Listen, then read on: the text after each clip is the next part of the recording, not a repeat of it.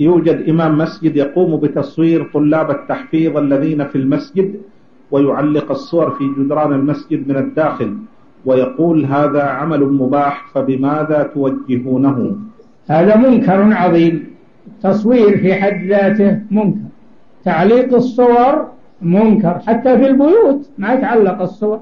الرسول صلى الله عليه وسلم امتنع من دخول للمنزل الذي فيه تصاوير في قرام يعني في ستارة مجعولة على الجدار فيها تصاوير من غير قصد.